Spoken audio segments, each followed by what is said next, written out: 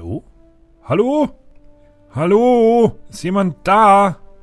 Irgendjemand vielleicht? Na gut, dann mache ich das halt alleine hier. Ähm, genau, wir müssen noch den Orbit erreichen. Wenn ich mich nie irre, und ich irre mich nie, äh, dann müssen wir den Orbit erreichen. Ähm, dafür holen wir uns mal hier die, den Reliant, den wir sowieso nicht einsetzen, weil der Swivel hier viel besser ist. Ist eigentlich sonst LVT 45 und das ist auch LVT 30. Aber ich glaube, die haben ansonsten sehr ähnliche Werte. Der hat, ist ein bisschen, äh, hat ein bisschen mehr Schub und so, also der hier. Aber dafür hat er keinen Gimbal, also keinen, äh, ne, der kann nicht, der kann nur in eine Richtung feuern. Also keine Steuerungsmöglichkeit. Ähm, so, die Frage ist, wenn wir in Orbit kommen, ob wir vielleicht sogar direkt das hier nutzen wollen? Wir werden auf jeden Fall ein paar... Werden wir wirklich viel Daten, viel neue Daten bekommen? Ich glaube nicht. Deswegen würde ich lieber das hier nehmen. Dann kann man vielleicht... Ah... Na... Das brauchen wir gerade nicht. Das auch nicht. Ich nehme mal Basic Science. Was ist das hier überhaupt? High Gain Antenna. Cool. Äh, muss ich nochmal gucken, wie das genau funktioniert. Ich glaube, das ist jetzt sowieso erstmal nicht relevant, weil wir nur bemannte Missionen machen. Kann ich schon... Ist Jebediah schon zurück von seinem, von seinem äh, Unterwasserabenteuer? Anscheinend nicht, ne? Wir haben auf jeden Fall ähm, die Möglichkeit, einen weiteren Auftrag anzunehmen. Was machen wir denn da? Das sind alles so Surveys. Touristen. Touristen machen wir noch nicht. Auch nicht. Das ist auch doof. Das gefällt mir nicht. Na gut, dann machen wir es halt so.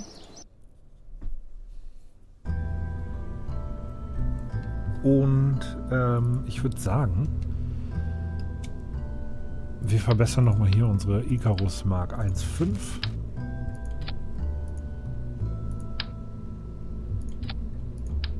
Folgendermaßen.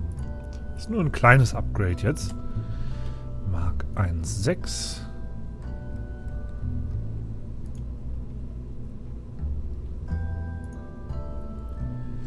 Hm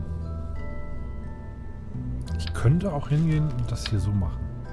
Damit kriegen wir auf jeden Fall einen Orbit hin, denke ich. So, gib mir hier... Oh, ich muss niesen. Oh Gott. Ah. Ah. Oh je.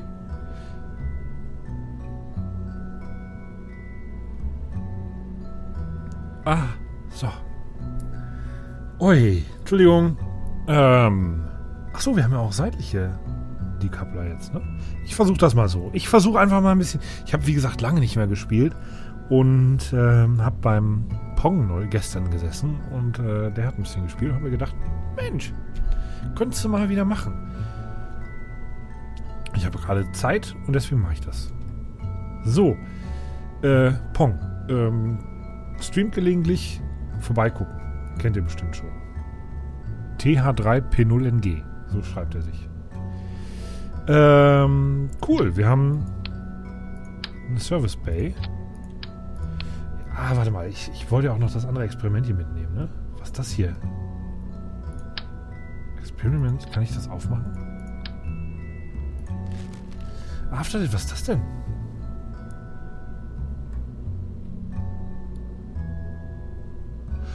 Oh! Das ist ja verdammt cool. Das heißt, da kann man die Experimentdaten reinpacken und kann zum Beispiel, wenn man an einer Raumstation Experimente macht, aber nicht alles zurückschicken will, nur diesen Container zurückschicken. Wie cool ist das denn bitte? Verdammt, ich habe wie cool ist das denn bitte gesagt? Ähm, egal. So, wir machen hier unseren Science Junior Kollegen dran äh, und verlagern diese Experimente hier hierhin so. Mystery Goo. Ja, ich weiß. Gucken wir mal. Ich glaube, da können wir sowieso nur noch. Äh. So. Ist das einigermaßen mittig? Kommen wir sowieso, also wir sind jetzt sowieso nur, also ich glaube, wir kriegen keine neuen Biome mehr damit. Ähm, aber wir können ja auf jeden Fall nochmal hier den, äh, das Barometer, das haben wir ja jetzt, das haben wir ja nur, also das haben wir ja gerade nur in der Atmosphäre äh, ausprobiert und nicht wie beim Flug, den ich zurückgesetzt habe in dem, äh, äh im, im Orbit, also außerhalb der Atmosphäre. Das heißt, das können wir auf jeden Fall nochmal machen. Ähm, so, das heißt, das hier kommt weg.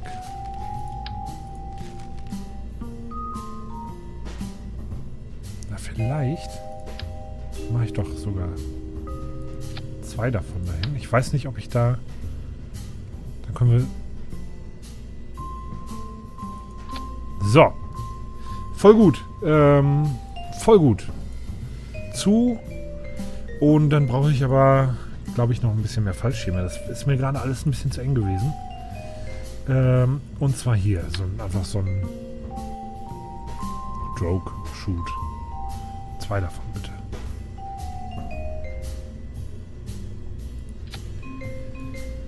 So. Cool. Ähm, und eigentlich möchte ich die hier vielleicht sogar per Hand erzünden. Haben wir alles. Ich bin mal gespannt, wie das jetzt hier funktioniert. Äh, das ist die Icarus Mark 1.6. Auf geht's.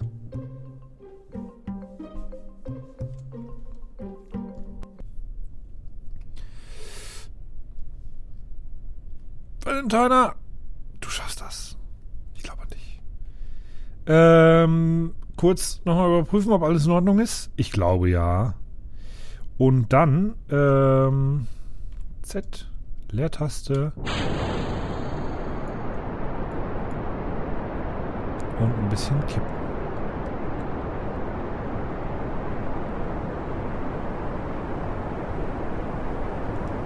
Das Kippen ist aber ganz schön anstrengend.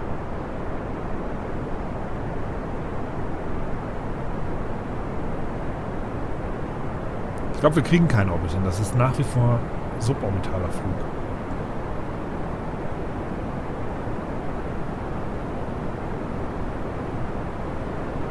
Vor allem, weil ich hier auch nicht weiter eindringen kann. Man kann hier sehen, ich äh, lenke voll ein, aber das Ding ist zu gerade äh, und zu aerodynamisch.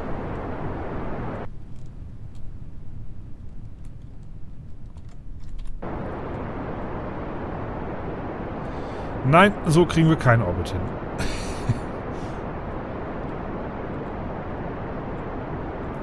Aber gut, äh, wir entkommen. Das ist bestimmt die Atmosphäre, oder?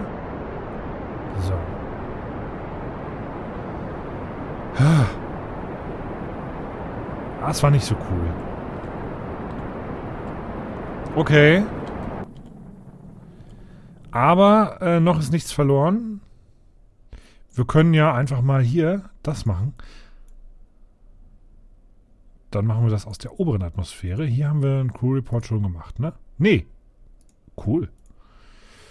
Ähm, Gu haben wir schon in der oberen Atmosphäre, aber das hier haben wir auch schon in der oberen Atmosphäre. Machen wir gleich mal Temperatur und Druck. Äh, jetzt nämlich. Zack. Und Zack. Und das hier machen wir gleich bei der Landung. Genauso wie den, wie den GU-Container. So, mal gucken, wie weit waren wir denn weg? Also wir waren ganz schön weit weg. Viel zu hoch. Ähm ja, ja, das äh, muss anders noch. Muss noch ein bisschen anders. Warte mal, was, ich mich, was mich gerade interessiert ist, ich, wir haben ja jetzt kann ich das hier senden? Ja. Warum kann ich das senden? Ist hier eine Antenne drin? Hier. Ah ja. 5K, was heißt das? Was heißt das bitte? Muss ich nochmal, ich gucke da nochmal genau rein, wie das, äh, was hier so funktioniert. Ähm, also wie das funktioniert mit dem, mit den Antennen und den Datenübertragen und so, gucke ich nochmal genauer rein. Boah, ich muss mich wieder dran gewöhnen. Mir ist aufgefallen, wenn ich ich, ich irgendwann, wenn ich solche, also ich habe jetzt lange nicht mehr, genau das meine ich. ich habe jetzt lange nicht mehr Videos aufgenommen und ich vergesse äh, einfach vernünftig zu sprechen und zwar so zu sprechen, dass man mich versteht. Also das ist echt anstrengend und man verlernt das auch wieder. Okay, aber da komme ich wieder rein. Alles gut. Türen zu. Es zieht.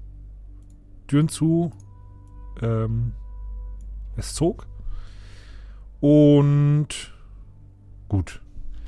Dann fallen wir mal erstmal wieder zurück. Aber es war ein neuer Hö Höhenrekord. Wobei ich nicht glaube, dass das zählt.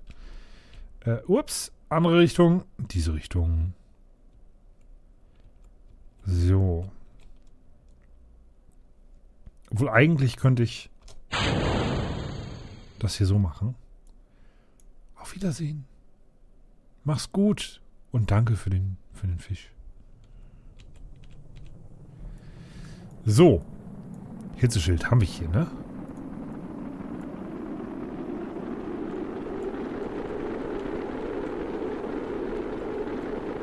Wenn ich SAS ausmache, dann... Hm, ne. Gefällt mir nicht, wie sich das Ding dreht.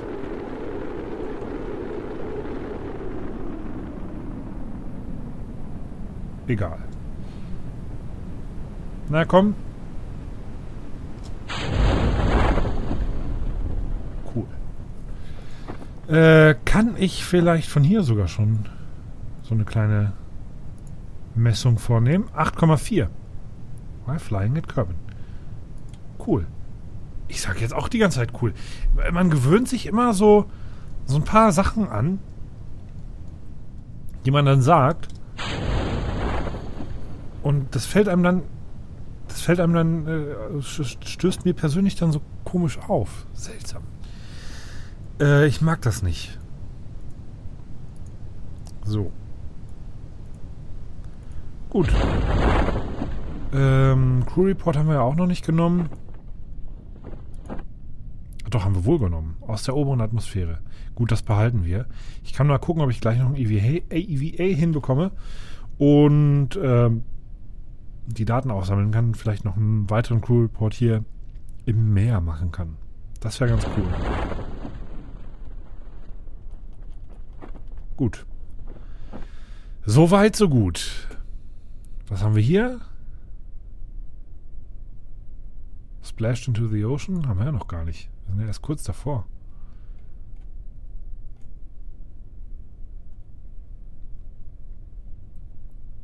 Ja, komm. 200 Meter. 200 Meter. Äh. Platsch.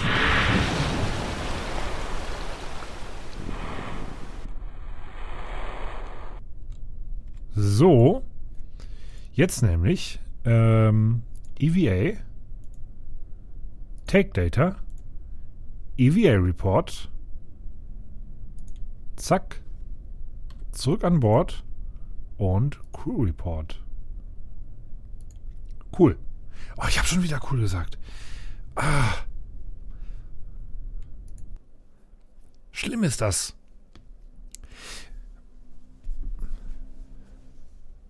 Ich sag einfach gar nichts mehr.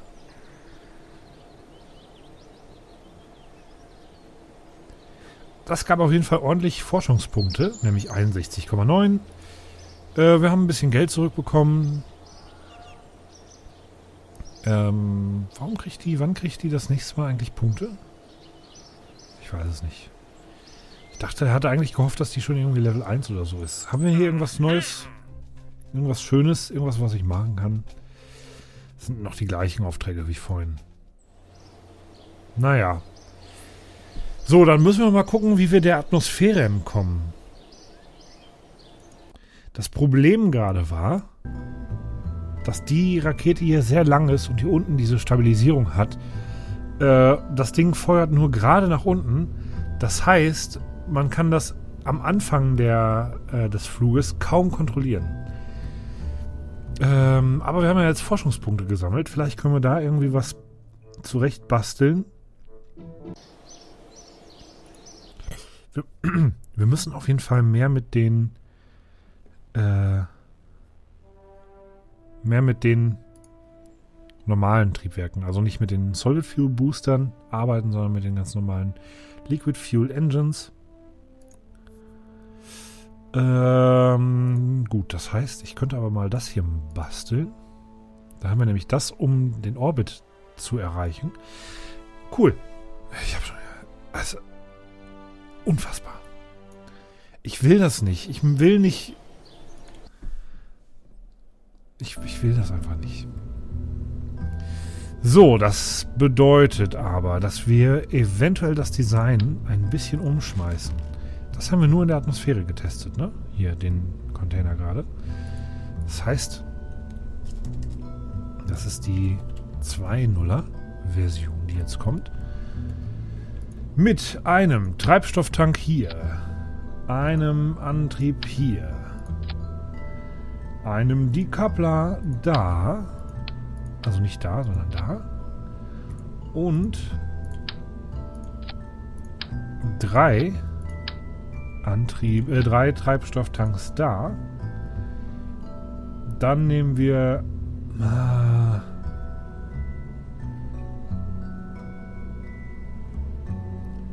Ding ist leichter und hat, eine, hat einen höheren äh, Schub hier. Äh, 205 Kilonewton bei, in der Atmosphäre ähm, im, und zwar Sea Level und 240 Kilonewton im Vakuum. Und das hier hat viel weniger gelandet und ein bisschen weniger im Vakuum. Von dir ist es gleich viel weniger ungefähr, ne? Nee. Also, das heißt 310. Die, die, die Effizienz wird ja hier durch den spezifischen Impuls angegeben. Das sind in der Atmosphäre 265 und 310 im Vakuum. Und hier sind es 320 im Vakuum. Achso, weil es. Hm, weiß ich nicht. Und 250. Ich nehme einfach das Ding hier. Da fühle ich mich sicherer mit. So, vielleicht werde ich aber komplett darauf verzichten, hier in die Mitte zumindest. Na, lass mich das... einen Solid Fuel Booster zu bauen und bastel stattdessen radial hier dran. Wie ich das schon häufiger mal getan habe, zwei kleine Booster. Ein bisschen tiefer. So. Ähm, dann machen wir hier so ein paar Nasen drauf.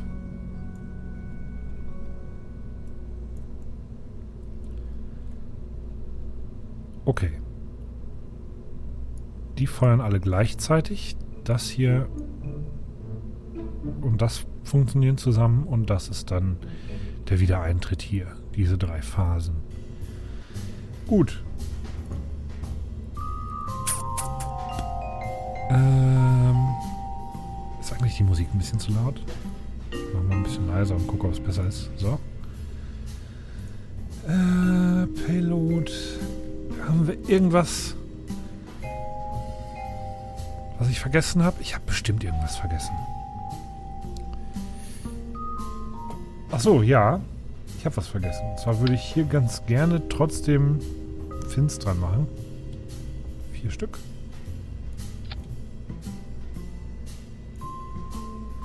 Einfach für die Sicherheit. Und dann gucken wir mal, wie das funktioniert äh, in dem nächsten Start, der jetzt gleich direkt kommt. Das hier müssen wir noch außerhalb der Atmosphäre testen. Äh, oh, ich habe jetzt gar nicht... Ach, verdammt, jetzt habe ich vergessen hier das Barometer. Oder habe ich das Barometer... Ich habe beide Barometer benutzt, ne? Okay, gut. Ähm, Launch. Ah. Können wir unser Launchpad aufwerten? Können wir. Haben wir Mission? Nein. Immer noch die gleichen. Also, gib mir die Icarus Mark II. Valentine Ackerman sitzt an Bord. Ja. Die anderen müssen leider noch warten. Ich nehme erstmal nur Piloten mit.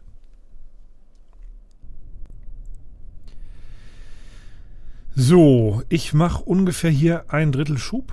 Ist das ein Drittel? Ja, das ist ein Drittel. Denn ähm, je niedriger wir sind, desto ineffizienter ist, diese, ist dieser äh, Antrieb. Und desto weniger will ich den eigentlich nutzen. Ich will den nutzen, wenn ich ein bisschen höher bin. Dafür habe ich ja diese beiden Kollegen. Sobald die beiden weg sind, regle ich den Schub so. Ah, wir gucken einfach mal. Wir gucken einfach mal. Ich habe aber ähm, hier noch keine Druckmessung vorgenommen. Mache ich mal schnell.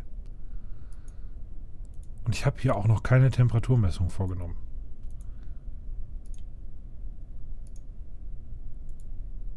So. Soweit, so gut. Ähm. Mal gucken. Auf geht's. Start in 3, 2, 1. Ein bisschen kippen.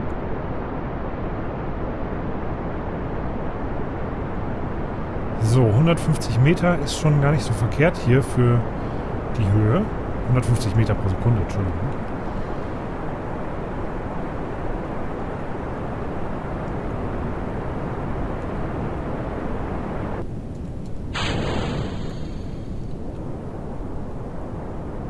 Geschwindigkeit erstmal ungefähr halten.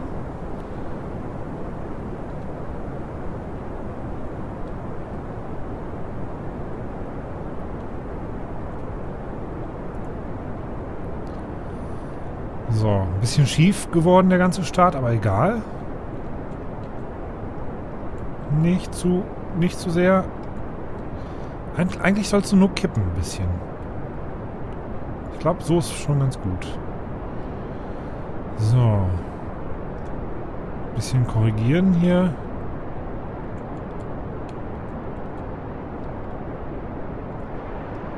Und Vollgas. Wir sind in der oberen Atmosphäre.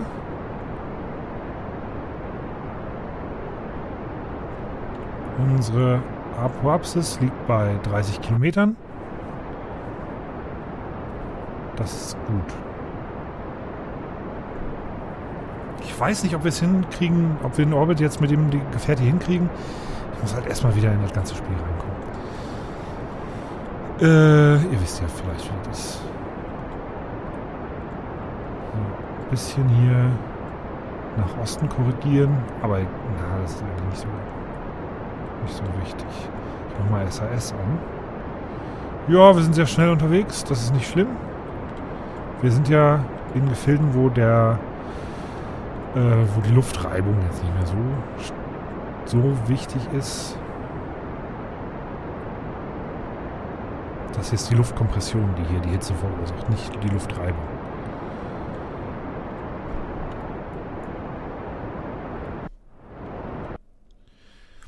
Das sieht aber gut aus. Das sieht sehr gut aus. Wir, haben hier eine, wir erreichen eine Höhe von 120 Kilometern. Äh, die Atmosphäre endet bei 70 Kilometern. Wir haben noch ein bisschen Treibstoff drin. Den werde ich nutzen, um diese Trajektorie hier so rund wie möglich zu machen. Wird wahrscheinlich nicht funktionieren. Aber äh, dann kann ich den Treibstoff hier ein bisschen effizienter nutzen, als wenn ich jetzt hier weiter Gas gebe. Also, Time Warp.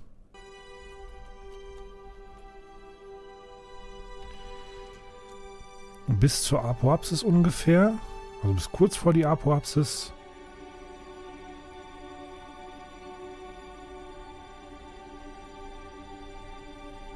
So ungefähr. Ähm, Treibstoff brauche ich. Eine Übersicht. Nur die aktuelle Stufe.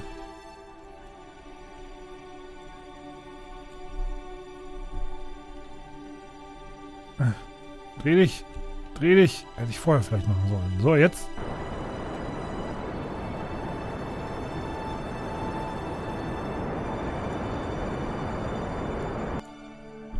Sehr gut ähm, das Ganze mal kurz abtrennen. Das mache ich von hier aus allerdings weiter. Wir haben genug Treibstoff, um nachher auch wieder zurückzukommen. Und wir werden den Orbit erreichen. Sehr schön. So, die Periapsis bringen wir auf 100 Kilometer. Wir haben noch massig Treibstoff an Bord. Und ähm, dann schmeißt du mal die Experimente an. 25 Forschungspunkte.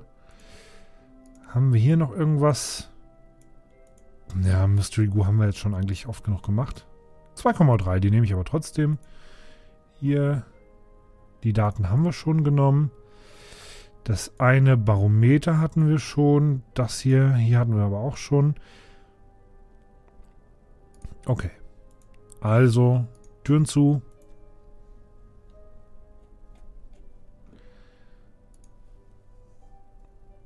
We have entered orbit.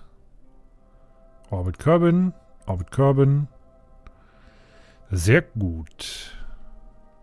Wir machen eine Umdrehung, würde ich sagen. Während ich hickse.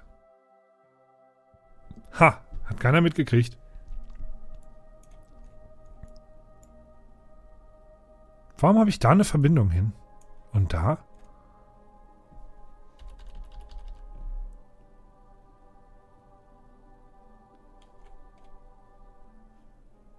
Hm, okay. Gut, ist ja nicht schlimm. Ähm, so. Na, ich mache nicht den ganzen Orbit. Hier, an dieser Stelle, werde ich mal den Treibstoff verballern.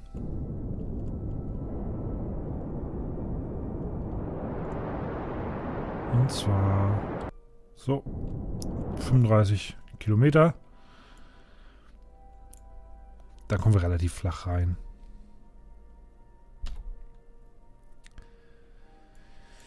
Sehr gut. Türen zu.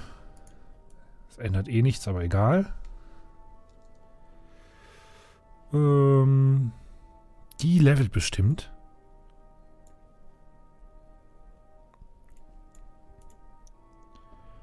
Und äh, das heißt, wir haben noch einen Mystery Goo Container. Ne, den habe ich vorhin benutzt, ne, weil der noch 2,4 Science gab. Aber wir haben hier noch das Barometer, das ich äh, bei der Landung nachher testen werde.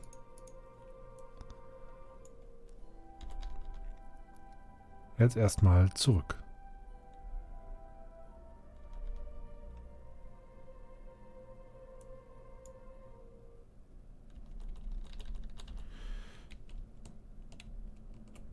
Nee, andere Richtung. Diese Richtung.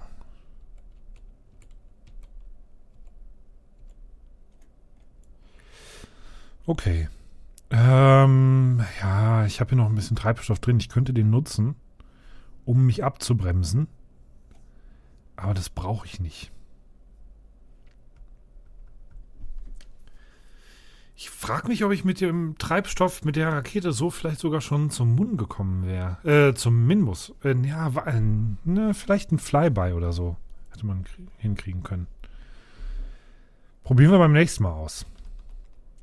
Jetzt erstmal den Wiedereintritt machen. Und mit machen meine ich hinter uns bringen. Oh nein, meine Nase. Oh, was ist nur los mit meiner Nase? Ah, na, oh je. Äh. Ja, pass auf. Ich spreng das Ding ab.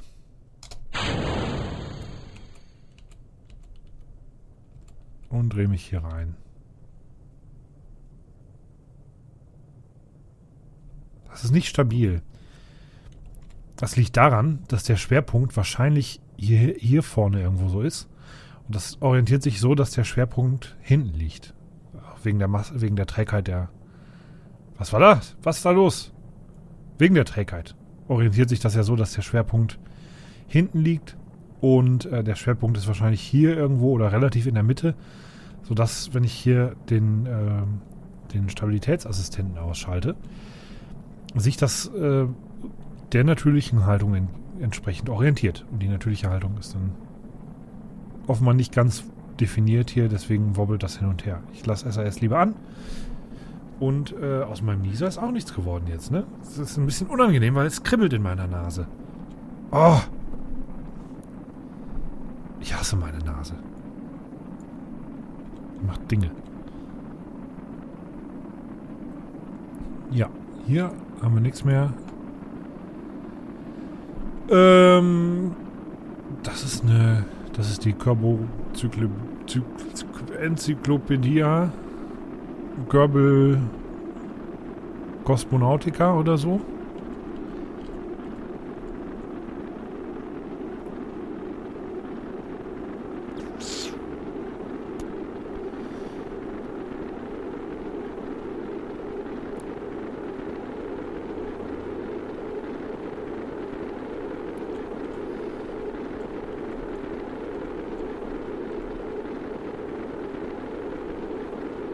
Ja, wir kommen ja auf jeden Fall recht flach rein. Das heißt, wir verbringen sehr viel Zeit hier in dem Teil der Atmosphäre, der uns gar nicht so sehr abbremst, aber äh, doch ordentlich aufheizt. Deswegen ist es ganz gut, dass wir hier den Hitzeschild haben.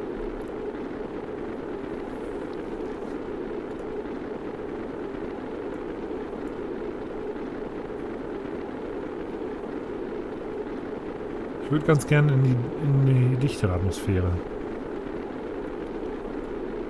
Ist das der Container hier? Ja. Bisschen ungünstig gedreht. So. Wir fliegen auch hier an der Wüste vorbei. Und werden wahrscheinlich hier irgendwo landen.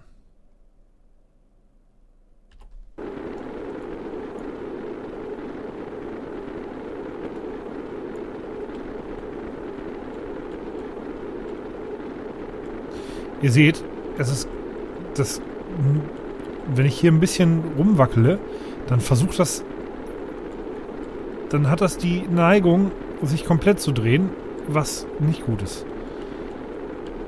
Das ist nicht stabil in dieser Flugposition. Das sollte ich ändern. Und zwar sollte von dieser Stufe der Schwerpunkt möglichst weit oben sein, damit das äh, einen stabilen Wiedereintritt hat.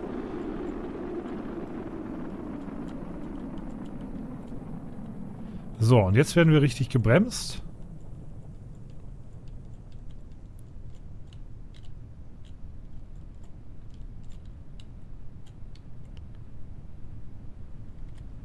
Hier, wenn ich SAS ausmache, dann wobbelt das hier ordentlich rum. Ist keine, keine stabile Angelegenheit. Äh, ja, die beiden können schon mal raus.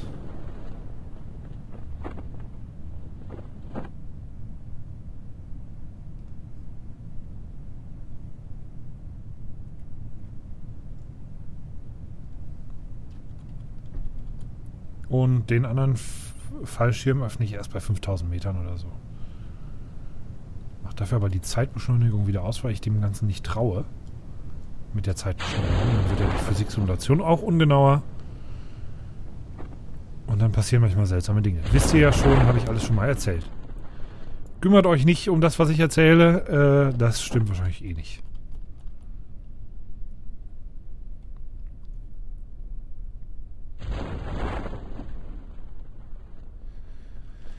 So, die letzten 700 Meter.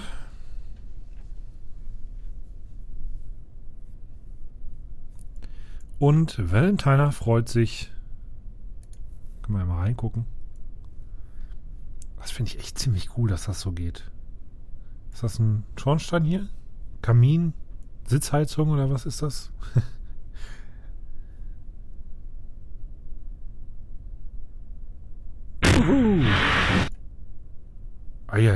wackelt das denn so? Wahrscheinlich, weil ich so nah rangezoomt war. Hatte. So, äh, hier. Achso, wir haben noch die Physiksimulation an. Äh, die Be Beschleunigung. 4,8 Forschungspunkte gibt es hier fast gratis dazu. Crew Report haben wir zwar schon, aber ist ja egal. Ähm, ja, Das war eigentlich einigermaßen erfolgreich.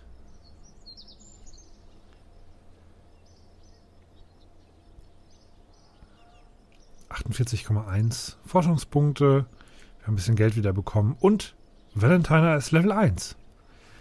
Das ist verdammt gut. Das heißt, beim nächsten Mal werde ich meine Forschungspunkte ausgeben. Und ähm, genau, ihr vergesst bitte nicht, mir zu schreiben, ob das in Ordnung ist. Also ich werde jetzt nach dieser Aufnahme hier, nach dieser Folge äh, eine Aufnahmepause einlegen. Wenn alles gut läuft, ich will nichts versprechen, äh, gucke ich, dass ich wöchentlich auf jeden Fall irgendwie was raushaue dazu. Und äh, schreibt aber mal bitte in die Kommentare, ob das in Ordnung ist, wenn ich, weil wir jetzt in der Staffel noch sind und eigentlich schon ein bisschen weiter waren, ob ich, ob das in Ordnung ist, wenn ich offscreen äh, ein bisschen was mache, was wir beim letzten Mal erledigt haben. Und ähm, ja, vielleicht ist es ja auch sinnvoll, wenn ich eine Folge mache, wo ich, also wenn ich halt ein paar Sachen mache und dann mache ich eine Folge, wo ich das so ein bisschen zusammenschneide. Das wäre auch noch eine Möglichkeit. Äh, Schreibt es einfach mal rein. Ansonsten freue ich mich, wenn ihr immer noch hier seid auf diesem Kanal, auch wenn hier lange nichts mehr passiert ist. Ähm, schön, dass ihr noch da seid. Ich habe Spaß, ich hoffe ihr auch. Und wir haben einen Weltrekord. Macht's gut, bis zum nächsten Mal. Ciao.